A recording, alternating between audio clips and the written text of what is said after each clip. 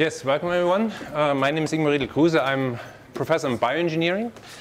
And uh, so it's my distinct pleasure, first of all, to co-teach this course, but also to introduce today's speaker, uh, Stone Librande, who was actually with us uh, in, uh, in a previous uh, instantiation of, of this course. So some of you may have seen him, but most of you don't. Um, Stone is a lead designer at Riot Games. He has uh, industry experience, game industry experience for more than 50 years. 15 years. He worked on a number, on a number of uh, famous games, for example, SimCity or Diablo 3. Um, he also teaches game design in collaboration with Carnegie Mellon, for example, but also he gives game design seminars around the world, and he's also here today in that, that capacity. On a personal note, he loves uh, also board games and card games, and he has a huge collection of those at home, and he even designs those. And I guess it's always a good exercise to, to work with these old media if before or while going uh, into video games. Um, and today he will talk to us uh, on the topic of one-page design, which is a power, powerful method he co-developed and, and uses to organize uh, thoughts and to share and communicate uh, with your teammates, teammates on, on, complicated projects. So welcome, Stone. So, um, so, I'll just get right into it. The talk's about an hour, and we'll have a, maybe 10 minutes or so for questions at, at the end of it. So um, what I'll be talking about is first I'm going to talk about standard design documentation and kind of how things used to be done. Um, then I'll kind of describe, well, what is a one-page design anyway? What do we mean by that term? And then there'll be a big section about how to create your own. Because one of the things that I'd really like, especially for a class like this, is that you guys take this and then use this on your projects this semester um, as you turn in different assignments and as you work with your team on the design. Hopefully some of the things that I talk about will be really relevant to how you decide to structure your own projects. Um, and then I'll kind of wrap it up with why even bother doing this, uh, what are the benefits, but also some of the things that maybe might not work out so well and just kind of give you a heads up about some of the pitfalls that I've discovered over the years. Um, so first of all, I'll talk about design Bibles. Is anybody familiar with this term? Okay, so not very many people. This used to be the, the thing um, back in the 90s uh, when the video game industry was really just starting to take off and the teams were getting bigger.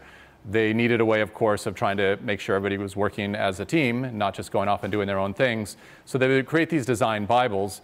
And a design Bible, in a kind of its simplest form, is you would just go online, you would download a template, say like a, a Microsoft Word template that looks something like this, and you open that up as an outline mode in your, in your um, word processor, and you just start filling out all these paragraphs, one right after another. And the idea is, like this is just a small section of what one might look like, but the idea is that by the time I've typed in a paragraph or so on every one of these things, I've defined the, everything there is to know about the game. There's nothing left to write about.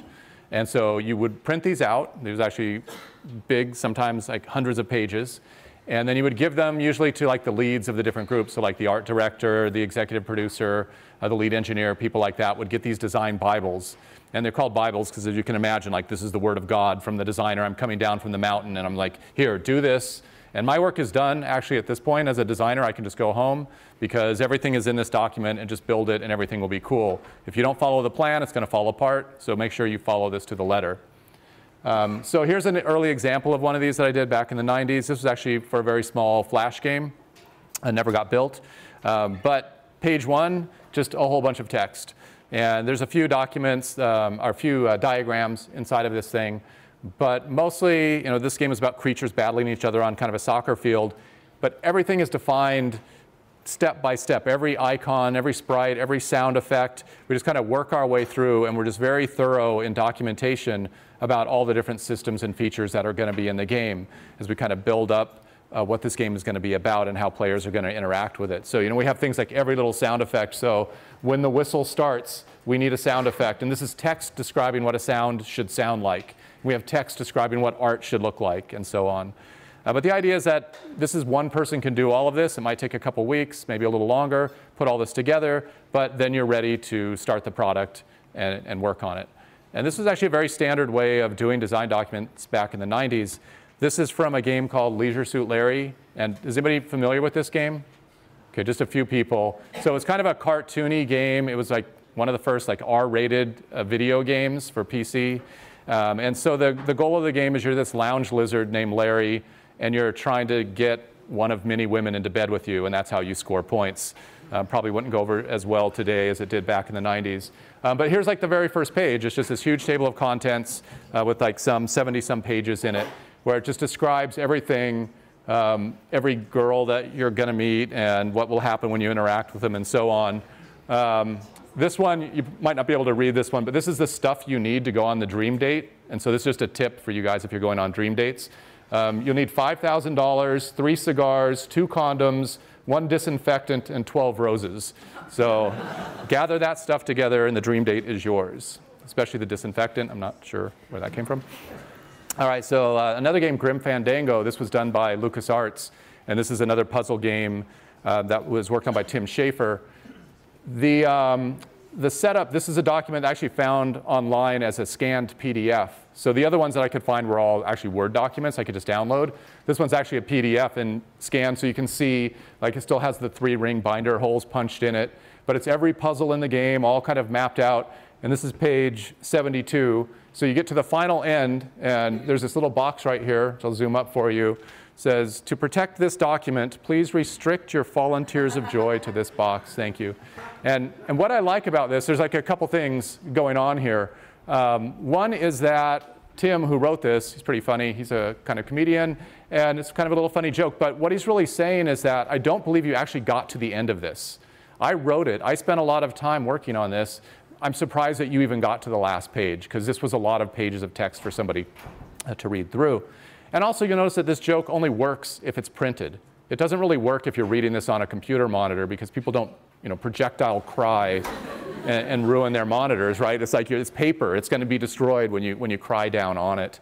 Um, so he's kind of speaking both to the length of this thing, the fact that nobody reads them, um, and the fact that it's printed out. It's actually a physical document. All right, so pros of this approach are this is where you go. This is everything. So what could be wrong with that? I, need a, I have a question I need answered. I pick up the design Bible.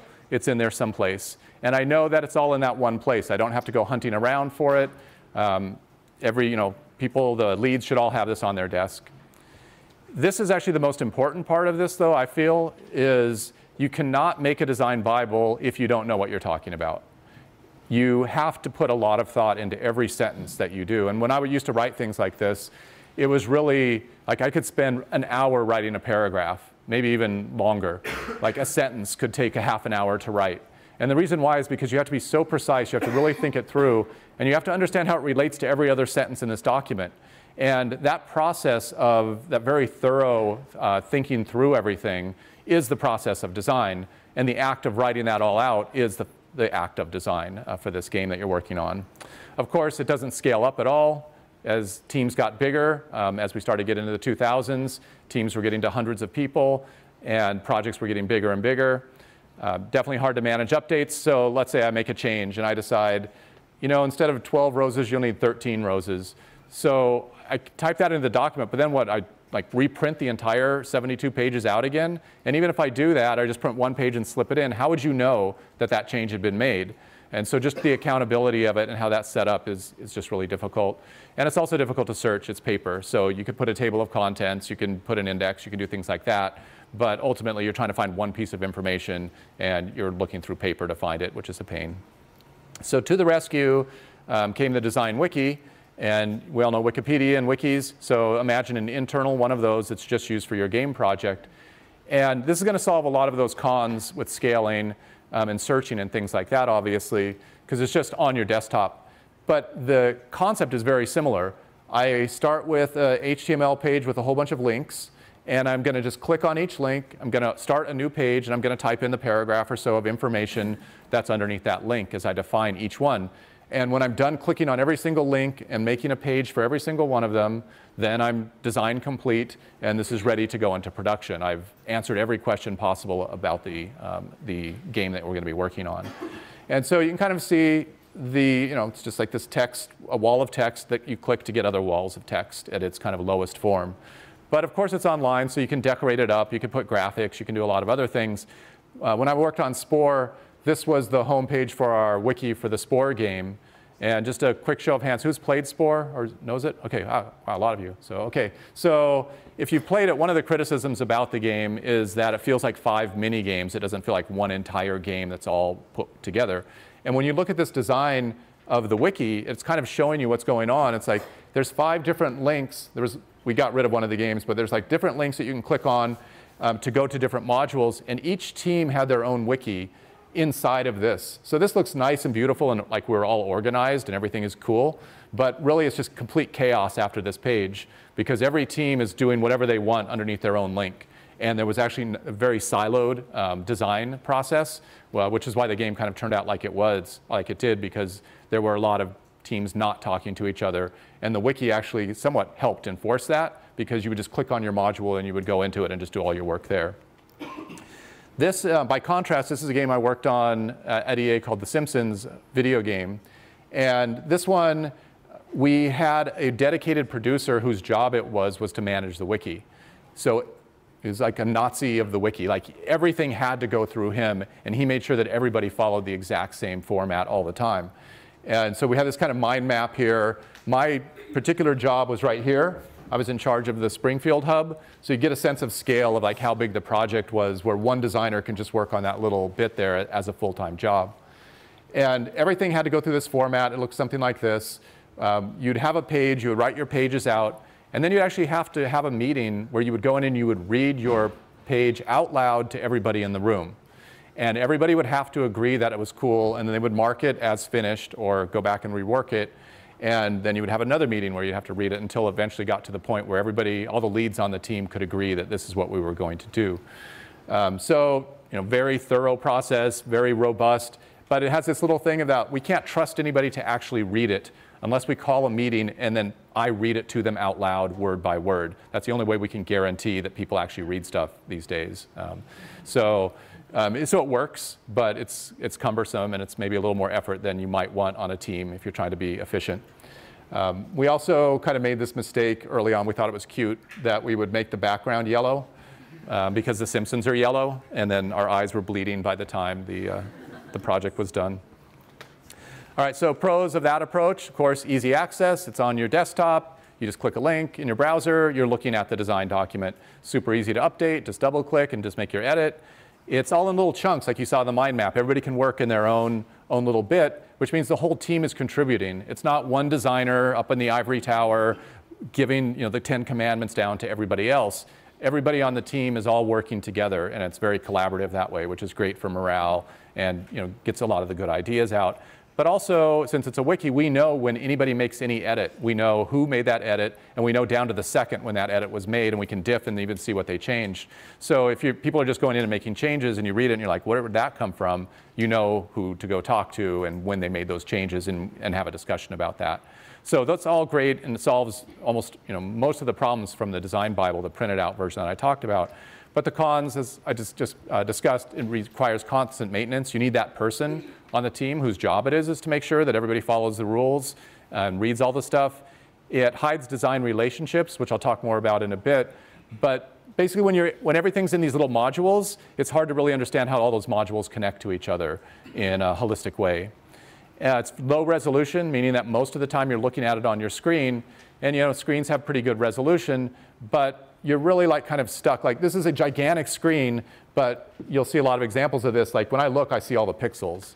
Um, it's just the bigger the screens get, the more the fatter the pixels start to become.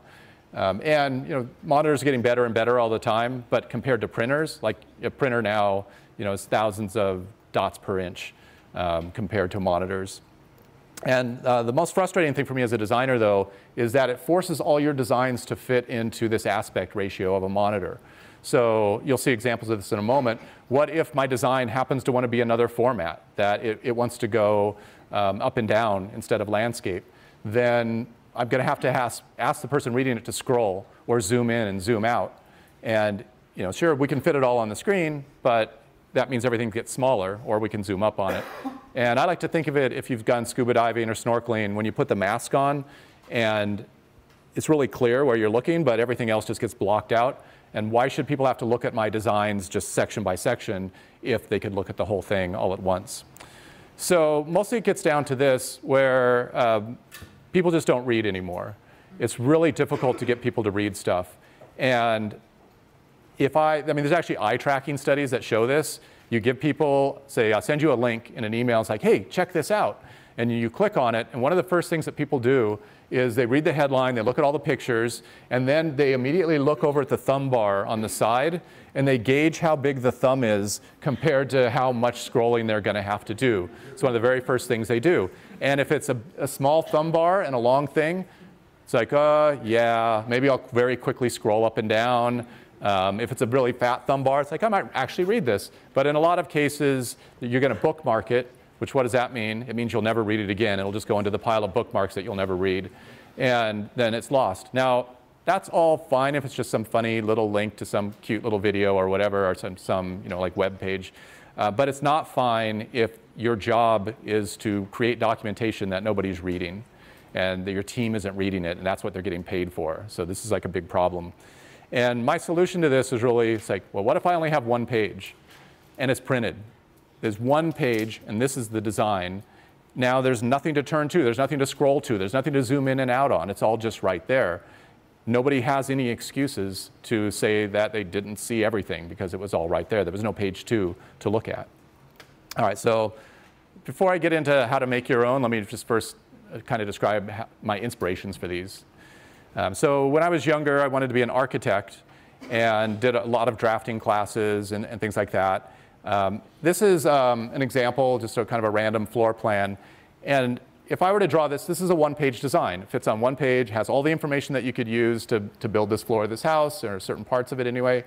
And if I were to ask you, would you like to live in this house? It's kind of like, do I? Like, I don't know if I want to live in that thing or not. It's really kind of hard to interpret whether you would really enjoy living in it. Um, so I might instead give you some kind of illustration of where it would be and say, oh, you want to live here? It's like, oh, that's beautiful. That's a nice elevation big trees, friendly people, like, yeah, I would want to live there. Um, but now imagine the opposite where I go to a contractor and I say, hey, could you build this for me? Like they would look at you and be like, what? Like I can't build that for you just from that picture. They're going to want this. And what I'm really getting at here is when I say, and you know, this talk is one-page designs with an S, it's not that you want to make one page that describes everything about your video game for everybody, and you do one page and then you're done. It's, you're going to be making a lot of these, and each one is going to be focused on a very particular audience with a very particular theme. And so if I'm going for, say, a contractor, I'm going to want completely different information than if I'm going for somebody like a marketing person or something like that who just wants to see the outer shell. All right, so here's another one-page design. Um, I'm guessing most of you have played with Legos and have seen things like this all through your life.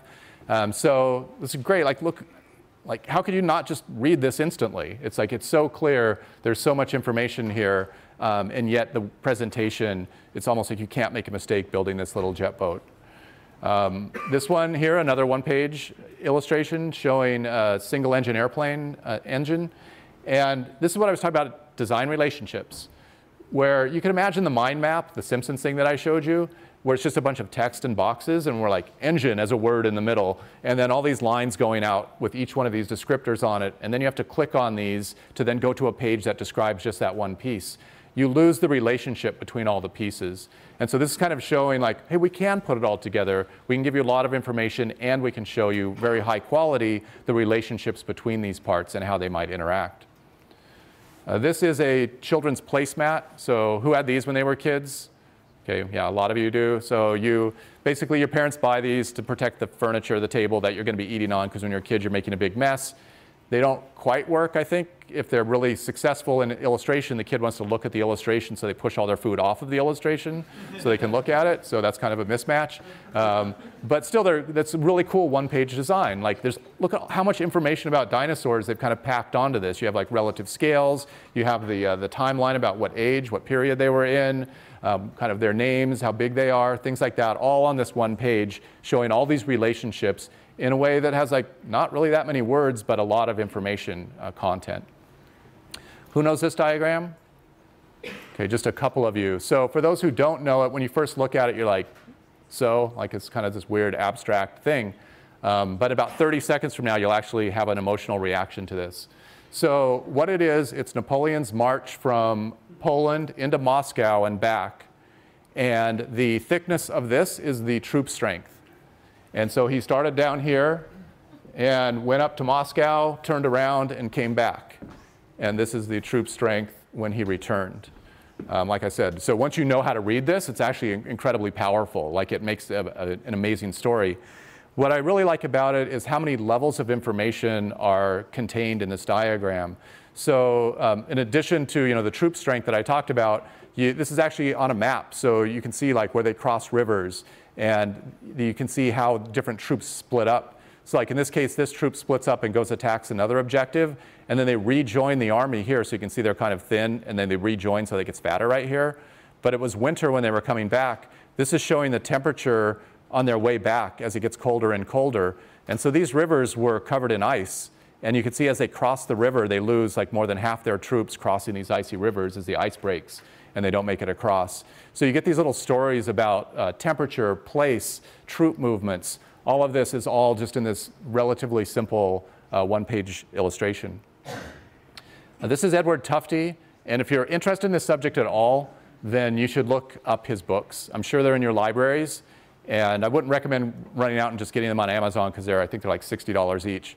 But um, I'm not, and the library has to have them here, so you might want to try to check them out or just read through them it's, he's kind of the patron saint of, of information design. And the books are just filled with just excellent examples of what you should do and also things that you shouldn't do. Like they have a lot of examples of USA Today charts, which is like, don't do this. Um, but uh, great information there. And most of the stuff you see is um, lessons. Uh, the way that I lay these things out and talk about them is coming straight from Tufte's ideas. All right, so let me get into some real world examples of these that I've made over the years. This was it's not, I didn't really consider this a one-page design when I made it. This is actually very standard in UI. And this is like a wireframe diagram showing how the user is going to move through the flow of a bunch of dialog boxes and screens. So this was, I was working at Blizzard, and this was for um, Diablo 3. And just kind of showing, you know, we're gonna, this will be an opening screen, and I can like pick different characters to create, and I can change my password and get new passwords and read the terms of service and all of this stuff. So it all has to be documented out. And you know, like I mentioned, sometimes the design just wants to be more of a portrait format or legal page or something, and it just doesn't fit. So here I have this example of I'm on this gigantic monitor up here on stage, and I, if I were to squeeze this thing down to fit on this monitor, it'd be almost impossible to read because it's just going to scrunch all the text. In fact, like even I'm really close to this, and I can't read some of these words at all um, because of just the distortion that's caused by the pixels on this. Um, but like I said, this is fairly standard, so there's nothing super unique about this, this diagram. Um, but what was interesting about it for me in my career as a game designer is I had made this diagram, we had actually done all this work, and this one was kind of out of date for where we were in the project. But I had done a lot of the other text uh, type documents, like the design Bibles, and I'd printed them out, and I went into our lead engineer, uh, Jason, and said, hey, no, let's talk about that document that I wrote, that I gave you. And he's like, um, I don't know, it's somewhere on my desk. And there's a big stack of papers on his desk and books. And he's like looking around for it and he can't find it. And he obviously hadn't read it yet.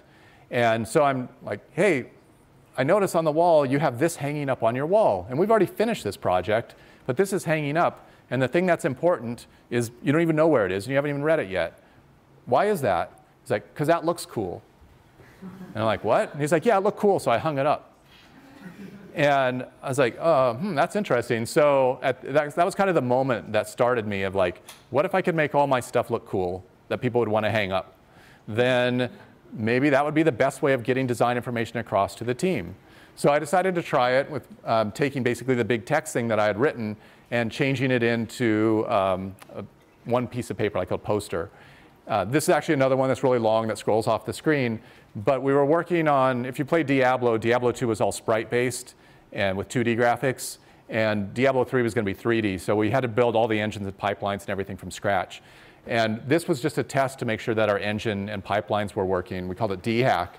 A very simple little town. You make a character and you just go down through these levels, and the levels are going to like have different things happening in them. And I forget how many levels there were, uh, but this page like scrolled down some more. So very kind of simple. And sure enough, people were hanging it up on their walls while we were working on this DHack. Um, after we got through this and we started moving on, I'm like, this is pretty good. Like, this is working. People like this format. So let me use it for the real game. So this is Act 1 of Diablo 3, a very early version of it, where you can see I'm just taking like very simple iconography to kind of show waypoints and caves and trees and things like that. And the player is going to start over here at the dock, and they're going to work their way through castles and go down into dungeons. And you notice this was obviously printed out. It was taken to a meeting, and we would write on it. We would say, this is a problem. We have to change this. We want to fix that. And then I would take it back to my desk. I would iterate on it. I'd fix all the mistakes, add all the extra content that we wanted, and then take it into another meeting and repeat and repeat and repeat. And the next slide that you're going to see, I think, is almost a year later. So you'll see the difference between if you just take one little change and you do that every week or so for a year. This is the, one of the final uh, diagrams for Act 1 um, as it starts to get more and more content added to it. Now, I know you can't read all the stuff because of the problems that I've talked about earlier, um, but I'm going to zoom in a little bit to one area. And this is kind of what I call the score for Diablo 3. And it was a way of mapping out how the player's experience is going to work through the, the game as they play it. So up here, what you see is like, this is level 13. The player's going to be playing it for about 20 minutes. They have already played the game for an hour and a half. So when they finish this level, it should be about an hour and 50 minutes of playtime into the game so far. And while they're in this area, here's the six monsters they're going to be fighting. And each monster has a little AI note, and maybe they're lightning or maybe they're poison, things like that. And so it specs out the whole level. This next one here is only 10 minutes long, so we don't need as much content for a 10 minute level as we do for a 20 minute level. But all the content's figured out in advance to hit these timing beats that we want the player to hit. Um, it's a big mistake, uh, yet I see it happen all the time, of people build their game and then they see how long it will take to play. And you should really figure out how long you want the player to play first, and then fill the content to match that. Otherwise, you're just making a lot of assets that you don't even really know how they're going to be used and how much time they're going to be on.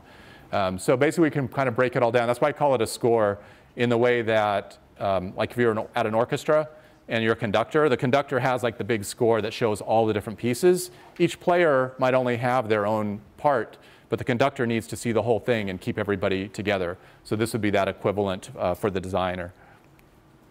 This is another little module um, from the game. This actually got cut, but it was a kind of uh, Dota League of Legends style thing that we wanted to put into Diablo 3. It ended up getting cut because they didn't think like we had time to build it all up. But if you kind of look at it, you were building these bases, and then your base and an enemy base would be hooked together, and minions would go down the lanes, and you'd be fighting with your Diablo character as a single character that could level up really fast, and then fight all the minions. And then you would basically break into their house and then destroy their stuff, and you would win. Uh, so if you played League of Legends, like you, you know how that works. Um, sadly, this got cut before League of Legends even was created, and so we always like, you know, maybe we shouldn't have cut this. This might, there might have been something here. Um, but the, the real point here is notice how I just explained to you something very complicated in about less than 30 seconds. I was able to do it because I had this drawing up here behind me.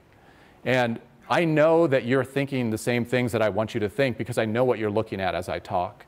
And this is like very, very powerful. If I were to write all the stuff that I just said down and then give you a piece of paper and say, hey, read this so you can understand all about this module that I got cut, everybody would have a different thing in their mind and I wouldn't even know what that was.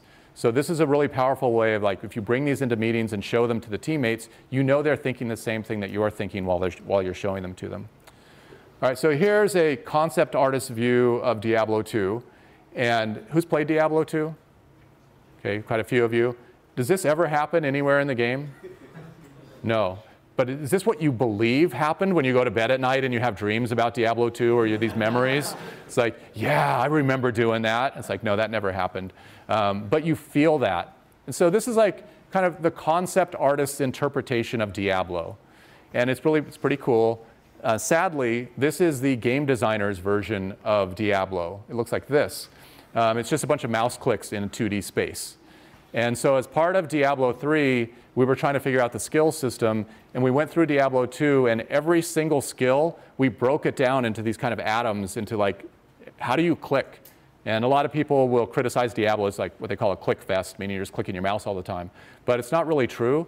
You're clicking your mouse differently over time. Sometimes you click slow, sometimes you click fast. You go back to town, you get a rest for a while. Sometimes you click and hold, sometimes you drag.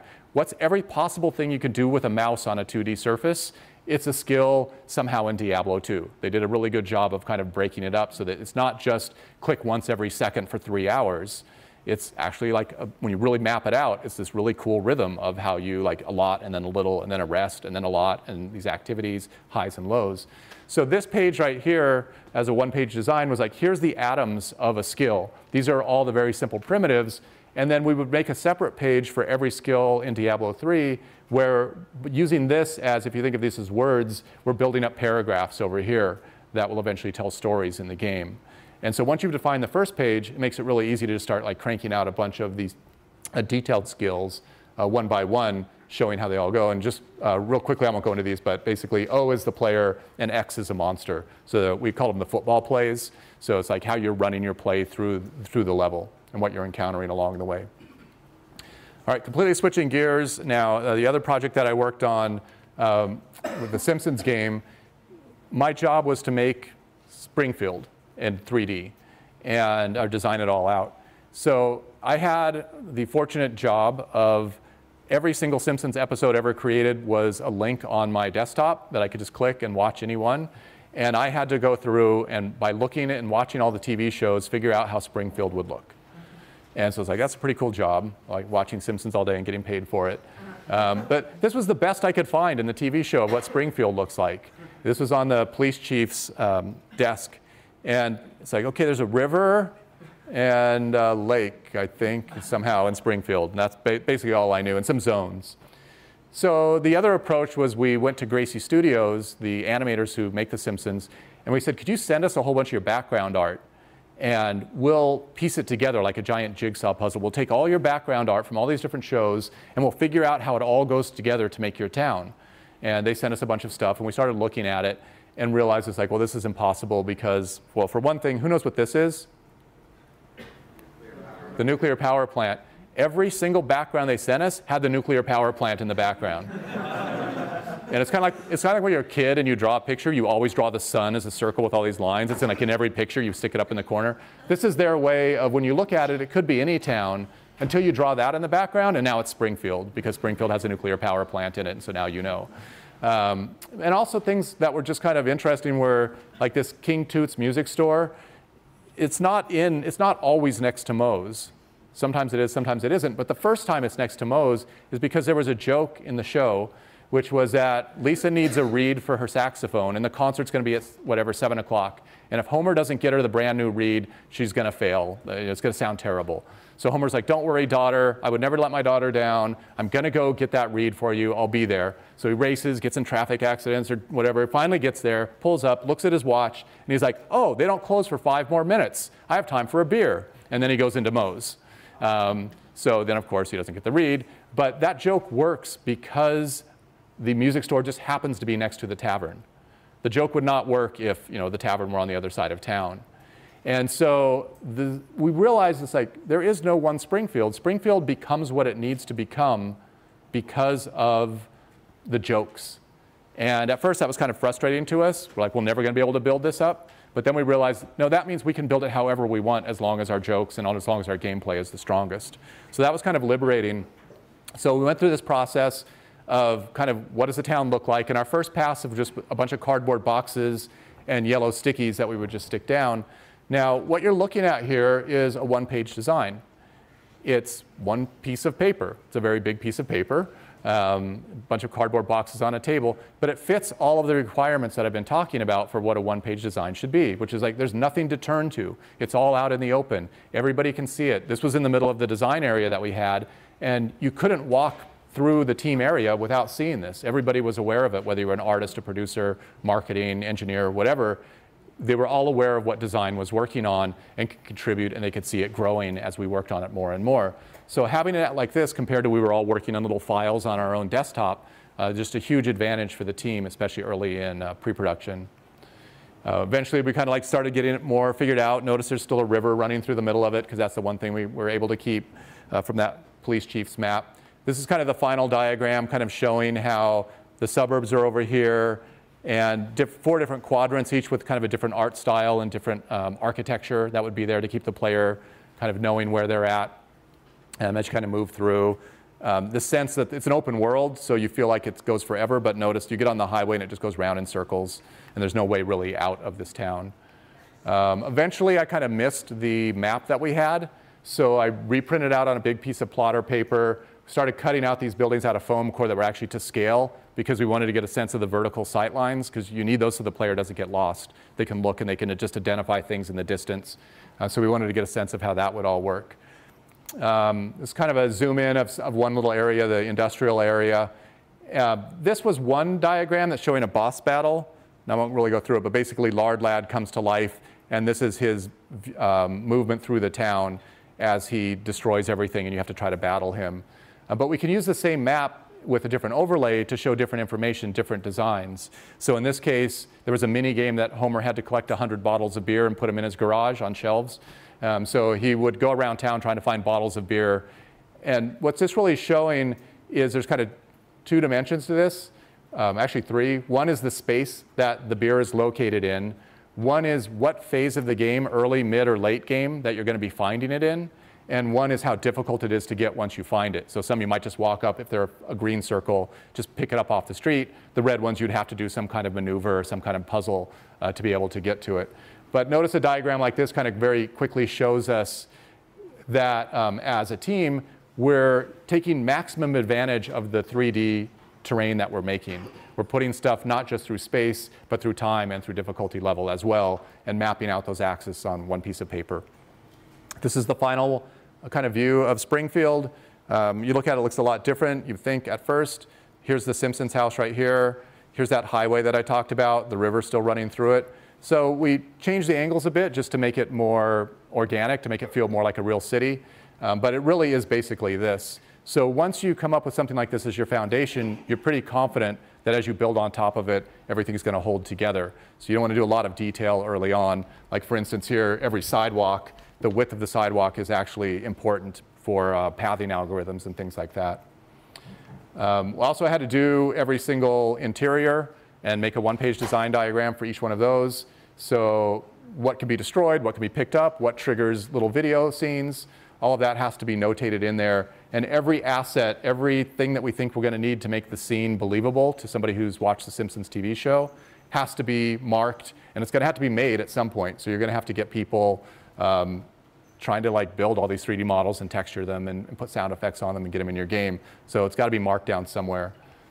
Um, eventually, I made this gigantic poster of every single interior with a call out to where it was on the map. And this didn't necessarily need to be done, but I was just trying to like use as much paper as I could to make the biggest one-page design diagram I could possibly make. Um, and this, you know, this is really the trick. It's like, hey, you can make any design fit on one page. Just you know, you need a really big page. All right, so creating your own. Um, the um, uh, basically, I'm showing you a lot of like really nice, pretty stuff, but most of it starts out like this. The uh, Spore game, we were working on an expansion pack, and actually they were asking for pitches from the team about what the expansion pack should be like. And one of the ideas was that you could build your own planets and your own adventures and your own little uh, you, uh, drama that could go on. Um, so instead of just following the rules of the normal game, you can actually make your own games inside of Spore. And what we did was we just got a piece of paper and scissors and markers, and we brought teammates in one at a time, and we set them down and said, pretend you're playing this game. What would you like to do? And they would say like, well, I want to make a character called Joe. And so we'd get out a piece of paper and a marker and we'd draw Joe and put him down. And it's like, well, what does Joe do? Well, Joe's able to like do this and that and he needs to pick up a key. Okay, well, let's make you a key. And then he's going to meet Amy. All right, well, let's make Amy, let's uh, make a little Amy card. And then he talks when Amy comes up to him. So, okay, let's make a dialogue box. And we basically paper prototyped out the experience that the player would go through by within a day or two, most of the team had gone through. And as more people came through, we had more parts to pull from, and we started to refine our ideas. So very quick, doesn't need a programmer, obviously doesn't need an artist, and you can get a huge amount of information in a very fast amount of time with this approach. So as you guys get further in the semester and you start to get ideas about what your game is, I really recommend you spend at least one lunch, like an hour, trying to play a game like this on paper and you'll learn, trust me, you'll learn a lot from that experience. Um, all right, so this was my kind of redoing to make it nicer. And this is what I showed to the executives and said, this is what we would like to make as an expansion pack for Spore. And it actually got accepted as this is a cool idea. uh, once I explained it to them. And this was all I had, was this one piece of paper. Um, it was built upon the stuff I just showed you so that I knew kind of what I was talking about. Um, but this was enough to get the project a green light. Now, like I talked about, this is the uh, this is the, the house, the elevation view of the house. Like, would you want us to build this? Yeah, that looks cool. But if I give this to developers and say, build this, there's just like, what? How do I, like, you just giving me this piece of paper, I'm supposed to build this. I don't understand it. So diagrams like this are what the team is going to see that I would then start creating to kind of show all the different modules and their relationships with each other and how they're going to build out. Now notice this one is not exciting to look at. It doesn't have a lot of pretty graphics and cute dinosaurs and things like that. Um, and if I were to show this to the marketing people and say, hey, want to build this product? They would look at me and be like, no, we don't want to build that. No one would ever play this game. It's really boring. Um, but the developers need this. We need to understand the scope of the project and all the different features.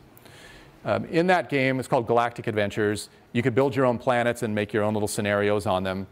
And so we wanted to ship with a whole bunch of these scenarios ready to go so that the player could see how we would do it in the studio. And our rule was that we had to use the same tools as the end user to build these. So we mapped out, the original plan was 64 of these things, um, the different acts and different scenes and all the stuff that we would need. And then level designers would take these plans and then try to build them. Um, this is kind of the list. And this was hanging up on the wall. Each of these is just an 8.5 by 11, but we had a big wall that we hung them all up on. So it's kind of like one giant one-page diagram where you can see the scope of what we're really trying to build, and everybody's able to see it. But if you make a mistake and you have to change something, you just go up and you pull down the, the page that's wrong and you put a new page up. You don't have to like keep wasting huge amounts of ink and paper to reprint the whole thing just because of one tiny little change. So this is like a really efficient way of kind of module, uh, making modules out of your design and then keeping track of the scope of the whole project. All right, so if you want to make your own um, one of these, here's a template that I recommend. Um, these slides actually will make them available. We'll get a link out to the class. Um, so you can download the slides so you don't need to redraw this. But um, what you should really do is you open up your um, program, hopefully Adobe Illustrator, I'll talk about in a second. And the first thing you do is you type the title. Don't do anything else until you've typed the title onto the document somewhere. And the reason why is you kind of want to know what you're doing before you start doing it. And if you can't even figure out what the title of the document is, then you're already in a bad place. You shouldn't be like doing a lot of detail work. So really figure that out, figure out the audience, who's going to want to see this, why are they going to want to see it, and what's it called, so they know whether to, when they see that title whether they should pay attention or not. The next thing is to put the date on it, because you're going to be printing these things out, and unlike a normal computer file that has a date stamp on it, you are going to print these out and they're going to lose that date information really quick. And what happens, you think it's like, oh, I'll remember the most up-to-date one, but you don't. And people will hold up a document and say, I'm doing what you told me to do, you're like, uh, wait, that's the out-of-date document, and the date's going to keep track of that. So I have a discipline that I use every time I open a file to make an edit. The very first thing I do is I change the date to today's date, and then I save it instantly, and then I start working. Because um, if you kind of mess around with the date, you're going to regret it later on, like if you don't pay attention and keep it up to date. Um, as far as the actual document goes, lots of white space is key. Yes, you could take one piece of paper and cram it full of text. No one will ever read it. Um, you need to let it breathe. You need to get the ideas kind of out in a way that it's attractive, it's appealing, that people want to look at it, they want to engage in it. And one thing that um, will destroy that is putting everything really close together.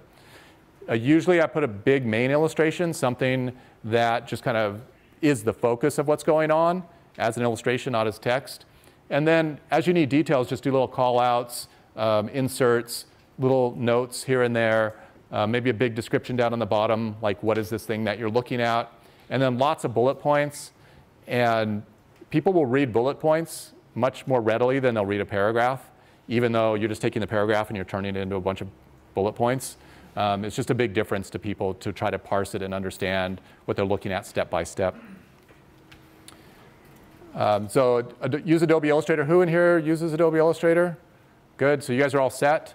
Um, if you want to try to do this in Photoshop, don't. Find somebody who knows how to use Adobe Illustrator. You can do it in Photoshop, but it's just a big pain. You want the vectors because when you print them out, you want the highest quality possible. And when you print Photoshop out really big, it's just big fuzzy pixels. Plus, the file sizes are huge, where these are actually really compact um, and easy to change. You're going to be moving stuff around, rotating stuff, resizing stuff constantly as you work on something like this. So you want a program that's good at working with vectors instead of pixels. All right. Um, actually, with time, the when, so when should we be done for questions? Okay. All right. So this is the um, another diagram as an example of what I just talked about. So here, this was an unshipped game idea um, based on Spore, where you'd build, if you played Nintendogs or games like that, the idea was to make a Spore creature, and then you could play with it as your pet, and that would just be kind of a standalone game.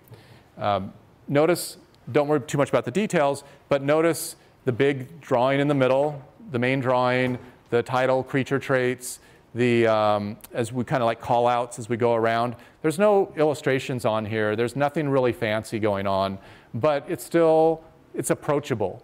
And there's just this little bit of spot color to kind of bring it to life, but also show off these main ideas and kind of talk about this color wheel idea, how colors mix together uh, to form new colors. In this game, you could train your pet different way and then take different skills and form them together. So for instance, if you're very physical and you're very playful, you might become a dancer. If you're physical and creative, you might become a sculptor. And if you're creative and playful, you might become a musician.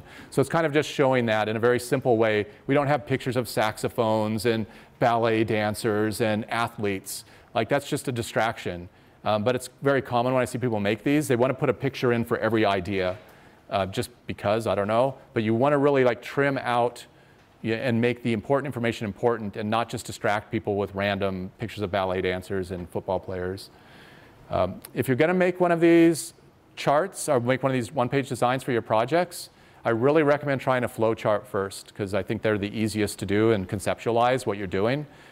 Make a main loop for your game. Figure out what the player is doing and how that repeats over and over again as they play through the game. What's the core of the game and how does the player interact? So this is from that creature game. Um, the creature chooses something to do. Let's say the creature decides to uh, chew up the furniture. Then the player chooses how to respond to the creature. So they could say, oh, that was really great. I love it when you chew up the furniture. Here's a treat. Or I'm going to discourage you from doing that and say, don't chew up the furniture anymore. That kind of gets updated into his training history, how you're telling him, and he, the creature tends to want to do things that you treat him, and the things that you tell him not to do start to get dampened down in the odds tables over time. Um, meanwhile, the creature is kind of looking at his environment, like, is there furniture to chew on? He's looking at his needs and moods. Am I hungry? And then he's looking at the commands that the player is giving him, like the player may say, fetch this stick. And he takes all of this together and chooses his next action, and it runs through the loop. Again, don't worry about the details of this particular game that I'm talking about. What I want you to focus on is how easy it is to see the flow of this game that you've never played because of this diagram. It makes it really clear the interactions between the in-game characters and the player and how those relationships work. For SimCity, we had a, a similar one. This is super simple flowchart. It's saying there's buildings, there's people, and there's places that they want to go. And the, the source building, the house, creates these agents who look for a sink to meet their need. So this building might create um, a mother who needs to go get burgers for, to feed her family, so she looks for restaurants as a sink. And she carries information, maybe money, with her as she goes from source to sink. Very simple diagram, but super important for the SimCity project because we really wanted everybody on the team, and it's a team of about 100 people, if they didn't understand these three words, they would just be lost because our whole system was built on these three words and how those interactions between a sink, an agent, and a source, how, how they work together. So I made this, I stuck it up on the wall. Everybody got it right away because it's simple. But if I hadn't put this up on the wall to make it really clear to everybody, there might have been miscommunications later on. Now, the great thing though is once you get this, you can make flowcharts like this because as soon as people understand the basic concepts, you can then build on top of them and make increasingly more complicated diagrams where people can understand because they've seen the preliminary ones first. So this is just kind of a similar idea where a house makes a person. If the person's sick, they're going to like look around for um, a hospital. If they're healthy, they're going to look in their wallet and they're like, do I have money? If I have money, I'm going to spend it. If I don't have money, I need to get a job and so and that which will give me money. And so the Sims are kind of like just looking up every morning. Either I'm going to I'm going to make money or spend money every day. And this flowchart kind of shows how the city was working um, on that scale um, as you start to see the pieces flow through it. Another thing you can do is a storyboard. So this is unlike a typical like video or movie storyboard. This is showing you the main beats of the game, the main modules that the player is going to be going through, and how long they're going to be spending on each one. So it's not meant to be the cinematic experience. It's meant to be, in this case, it could be hours and hours of gameplay time and how it's going to be all set up. So here you kind of pick which creature you want to hatch. The um, egg hatches. This is like less than a minute. And then for the next five, ten minutes, you're going to get this little baby grows up. You name him. Um, you start care and feeding. And then they quickly kind of become a kid. And for the next uh, several hours, you're training them and you're teaching them to do little tricks and things like that. Then they turn into an adult and they can actually like train other creatures and raise their own little pets. Um, so this is just kind of showing this flow. But again, this part here of like, why would I waste a lot of time on this, on the art and animation and sound effects of this egg hatching phase if the player only sees it for a minute? Where this part of the game over here, where the player is playing three hours or more, we really want to make sure that we hit that and we mo put most of our effort, our production effort into that. This is another kind of flowchart or another storyboard for SimCity. This one was really hard to storyboard. My producer's like, where's the storyboard? I need to see how this game plays out. And I told him it was impossible to do because SimCity, if you played it, there's no story to it. You can do whatever you want in any order that you want. Um, but he didn't like that answer. And I had a bunch of documents of text where he didn't want to read them. He's like, I just want the picture. Just show me the picture. There's actually a problem with working with this approach is that your producers like expect everything to be done this way. Um, but eventually I came up with a, a, an approach where it's like, you can do whatever you want in SimCity, but this is the worst possible thing you can do. You can build garbage dumps and slums and then um, burn coal power plants and just steal money from people. Um, and we called that uh, uh, Pittsburgh. And, and this one over here, the best thing you could possibly do uh, build solar power, and wind power, and parks and schools and universities and hospitals, and, and rich people love to live here. And we call this one Berkeley. Um, and we got in trouble later on because I said that in an interview, and some people from Pittsburgh got really mad at me. They're like, Pittsburgh's beautiful, and Berkeley sucks. You've been to Berkeley? Like, it's like not really a joyous place to be. Um, this is another little um, kind of storyboard showing a particular event through the city how it flows. So these people get up in the morning, they make garbage, they go to work, they happen to work in the garbage dump, they go uh, pick up garbage cans, they take them back, they burn them, um, it turns into air pollution, they get paid, they go back home, they buy junk so they can throw it in the trash the next day and burn it again. Um, and this was, I love this diagram because out of context of SimCity, it's just great like anti-capitalist propaganda. Uh, this is my approach of doing what I call a time and space diagram uh, like the Napoleon's March diagram, where uh, for Spore, we have these different islands. Now, the shape of the island, the details of the island isn't what I'm asking somebody to build. I'm not giving this to a level designer and say, build this for me. This is the plans. This is conceptual. It's abstract. It's showing you the principles of how to build islands uh, for Spore. And again, there's a lot of information, but basically you start as a cell, you wander your way across the island, and eventually you're going to make a tribe at the other side. And this kind of shows you different encounters that you may have along the way and different paths that you can take to get through it. Down here's that timeline again of showing us like up to 60 minutes of gameplay and what level your creature should be at any given time. Uh, this is a, a SimCity version of that same thing. Again, this is really a mess. When you first look at it, you don't understand how to interpret it. But I'll zoom up a little bit. This is kind of showing, we don't expect you to do everything, but we expect you to kind of like take one path through this. So I might build a town and decide I'm going to build a um, auto HQ and build like uh, car factories, or I'm going to build a casino and go up this way. So you, you won't experience all of this content, but the time over here is showing you about how much time it'll take to get to that phase of the game. And so then we can start mapping that out and again, try to figure out how much content we need for that. Relationship diagrams are really important. This is where you take all your systems and you just try to put them on one piece of paper so that we can see how all the systems relate to each other across the game experience. Um, so this was for another unshipped game. It was this kind of this robot fighting game where you travel to different planets and fight different robots. You could build them up yourself.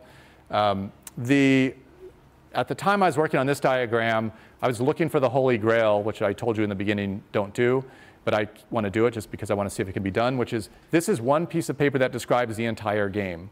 You don't need any other piece of paper. This is it. And I kept trying to do that, knowing that I couldn't, but still wanting to try to see how far I could push it.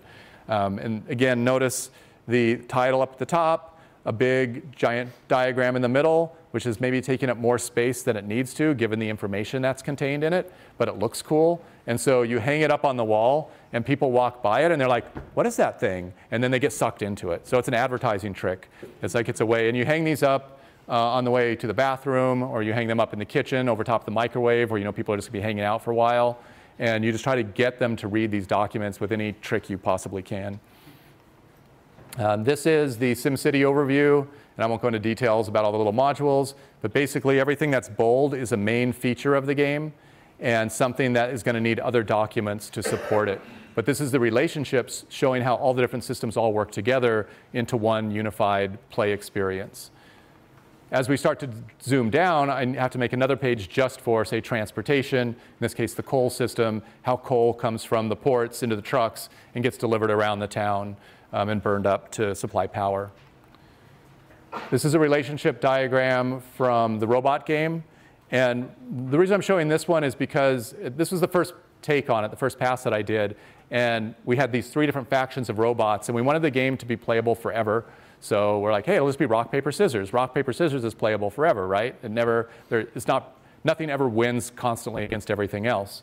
So I came up with this rock, paper, scissors idea that every robot was in a corner and you would be basically building different factions um, in the corners, like one rock, one paper, one scissors, and they would fight each other. And we realized really quickly that that was going to be just as boring as rock, paper, scissors is after you've played it three or four times. Um, so looking at the diagram, though, it's like we just have to think about the diagram differently. It's basically the same information, but I'm presenting it slightly differently. So instead of saying, the Futurians are rock and the aliens are paper. I'm saying the Futurians can go from rock to paper. You're building these robots out of a bunch of parts in this game. And depending on what parts you put on, you may make Eve from WALL-E, or you may make this um, uh, Macross type robot. And so they all belong to this Futurians category. But it gives the player, instead of just saying, I'm throwing rock, paper, scissors, they're like, I'm throwing you know, 30% rock with 70% paper and how is that going to stack up? And it actually gives you, since you're controlling those percentages and how you built your robot, it's giving you a lot of um, different ways of playing the game. So, you know, I've said this a couple of times already, but that was a pretty complicated idea that I was able to explain pretty quickly because of these two charts, and you can see the difference between them all. Um, but I didn't know this when I started drawing this. I drew this first and thought I was done. And only after I drew it and it was all finished did it occur to me that there was other ways of kind of rotating it to make that happen. So there's a lot of gain you can get even as a designer as you're working through these drawings. Matrices, um, this is one of the last things um, I want to talk about. Draw a grid first and then do your design. Don't do all these little tiny pieces and then try to figure out how they fit into the whole. So it's really easy to just sit down and you're like with your buddies and you're like, hey man, we should put on like this uh, chainsaws and also I want like dinosaurs with lasers and I want this. And you're just like throwing in all this stuff and it's all cool, and everybody agrees that you want chainsaw wielding dinosaurs with lasers, like nobody's going to turn that down. But if you don't understand the whole context of where it all fits, then you're just going to end up making a lot of content that you, a lot of wasted uh, time and effort is going to go into it. So in this, this is kind of a little toy example of, let's say I'm working on an RPG game, and I have these six character classes, and I have these four factions. I do that first, and then I go and I do the design work. It's like, well, what is a, a, fire scout? What is a metal thief? Like, what are those things? And now we do the design and work it up. So again, this is just kind of a fake example, but as I started filling in this chart, I realized really quickly that it was a lot of work to fill in every single cell. So as I looked at it more, it's like, you don't really want water and nature fighters. You want metal and fire fighters, right? Those are like the cool fighter archetypes. And so when you look at the chart, you can kind of quickly see like the fighter is fire and metal. No one else has fire and metal as a combo. Every one of these is unique. So mages have fire and water, but nobody else has fire and water. Um, so as we start to spread it out, we get kind of two benefits here. One is that there's half as much work to do. So that's just a great win for the team. The other, it's actually more flavorful for the player. They see a lot more differences between the different things, and that actually makes the game stronger overall. So a chart like this, a table like this, kind of showing it at a high level before you dig into the work um, can be super valuable that way. Here's a real world example from Spore. So I was a designer on the Cell game, and this is the matrix showing you kind of how you uh, encounter all the NPCs as you work your way through. Um, so I'm not going to get into all the details, but this is kind of taking that idea of matrices and just kind of blowing them up and showing every part in the cell game and how they relate to everybody else and how we can chain all of those together uh, to make kind of more complicated diagrams. They still can fit on one page, um, but they're, we know they're very thorough. We know they're kind of feature complete because all the boxes are filled up and have information. This is when it goes wrong. This is the end of SPORE. We were trying to pull everything together. And I don't have time to go through all the detail of this, but basically I made this Excel spreadsheet, which is I think four dimensional, maybe five dimensional, and um, realized it's like nobody can understand what this is, even though it's it's complete. All the information is there. Good luck trying to interpret it. Now, like years later, I don't even know what it means anymore.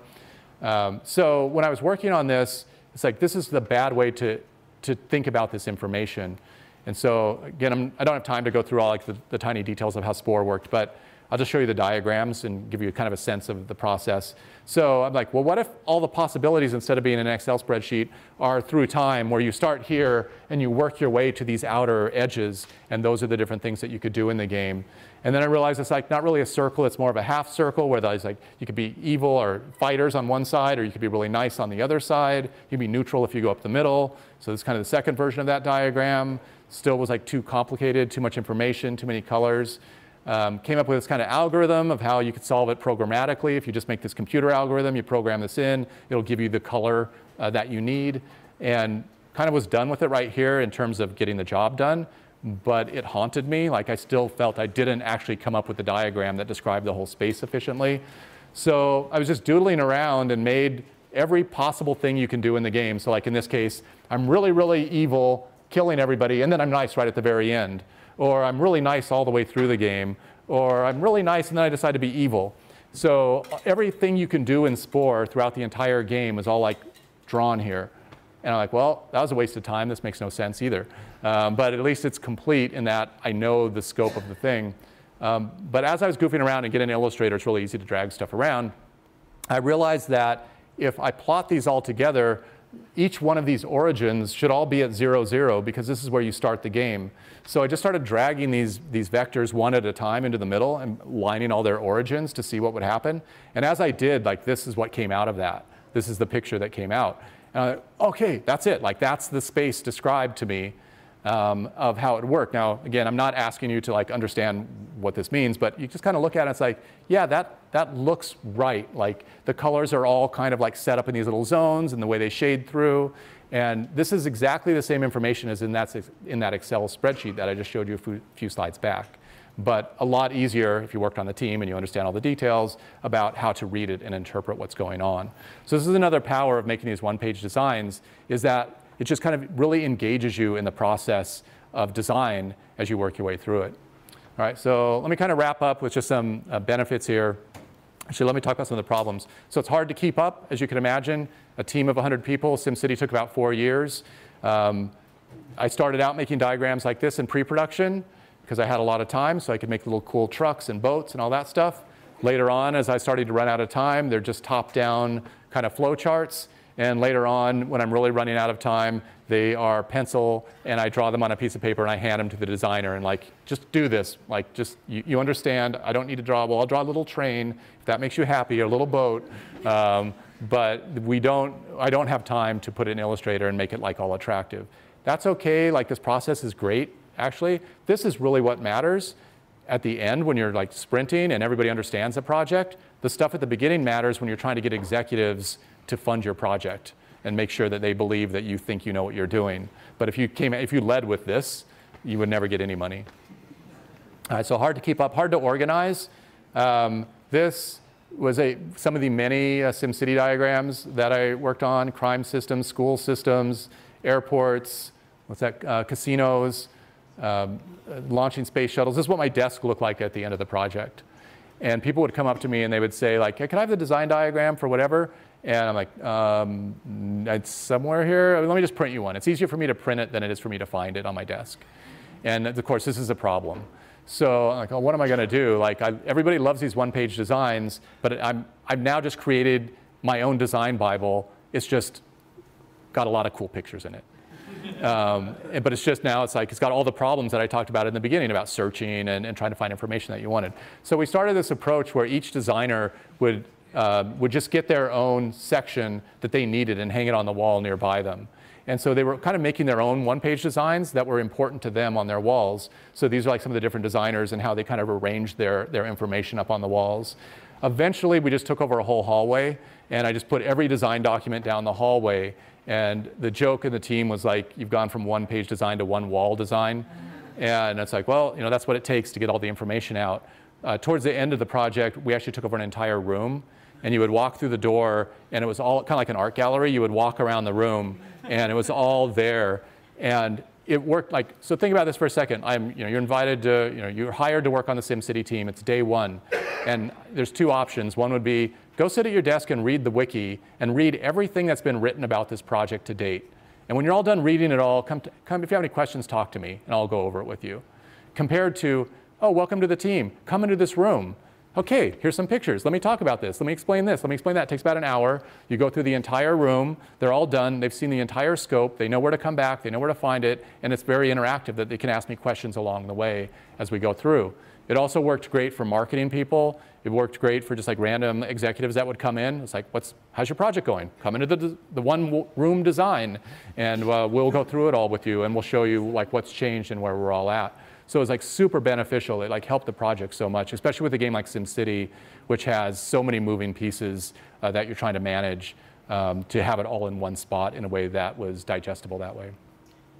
All right, so one size doesn't fit all, obviously. I'm talking about these giant posters and rooms and walls. Sometimes the design might just be a little card.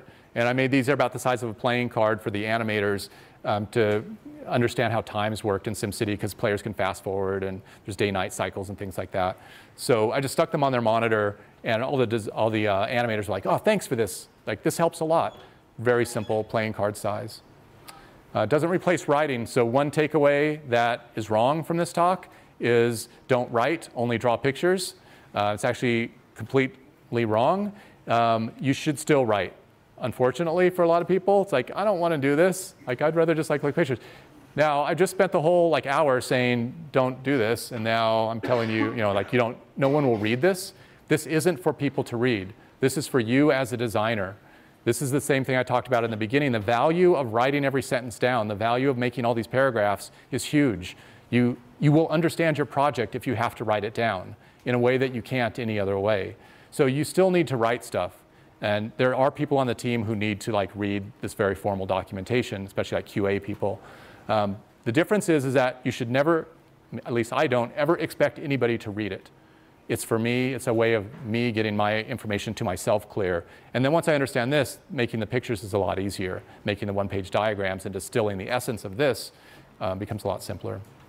All right, so those are problems, but it's easy to share designs across the team. You want people to look at the designs. If they're just in a file somewhere, you know, PowerPoint. Maybe nobody clicks on it. It's just kind of lost in a hard drive, a, a Google Doc, something. Um, it syncs up imaginations in the way that I've talked about throughout this talk. Like I know you're seeing, you're imagining the things I want you to imagine because they're up here on the screen. They're not meant to be framed. They're meant to be scribbled on. So when you bring them into a meeting, bring pencils, because a lot of people don't bring pencils with them anymore. Um, bring pencils, encourage participation. And say like, draw on this, make it a mess. So I might make something like this, and the um, level designer gives it back to me, and it looks like this. And that's great. Like that's what you want, because that mean that way you know that they're engaged with it, they're studying it, and they're going to make changes. And if you need to, then you make the revisions and, and print out a new one. Personal benefits. I've talked about this a lot. This is you have to understand what you're doing to make one of these. You can't fake it. You can't make a one-page design and not really know what you're talking about. You, you've got to like understand it as a designer in order to do it. Um, it forces you to be concise. Like you put the title up on your page, you have a certain amount of real estate to work with, you need to really know what's going to go on that page. You need to really think about it. And if it starts to sprawl, if your design gets to be too big and it doesn't fit, you have to start asking yourself questions. It's like, am I just sprawling? Am I just going out of scope? Why do I need all this extra stuff? If I have to cut it to make it fit, what's the most important parts? That's what I need to focus on. Uh, the relationships in the system, I talked about this a lot already, definitely aids in problem solving just by the act of making it forces you to solve problems. Um, and overall, kind of to wrap it up here, the goal of design is really a goal of communication, especially with a big team. You want as many people possible to all be focused in the same direction. And good designers make sure that everybody understands the vision and they're all working in the way they need to uh, be working. This is a question I get asked a lot. It's like, man, that looks like a lot of work. Why would I want to do work at my job? Um, it's like, because it's your job. Like, if it was fun, you would be paying someone else to do it. Um, but people are paying you to do this. So, you know, if you're, the other way of thinking about it is like, if you're not communicating effectively, then you're not really doing your job. And so anything that it takes to make sure information is spread out and distributed and understood across the team is worth the effort that you're going to put into it. And ultimately, people will read your stuff instead of just clicking on the link and looking at the scroll bar and then filing it away. All right, so that's it. So this is, uh, this is Brian, my assistant designer on SimCity, pretending to care about all this stuff. And um, that's it. So thank you very much. I know I'm a little bit over time, but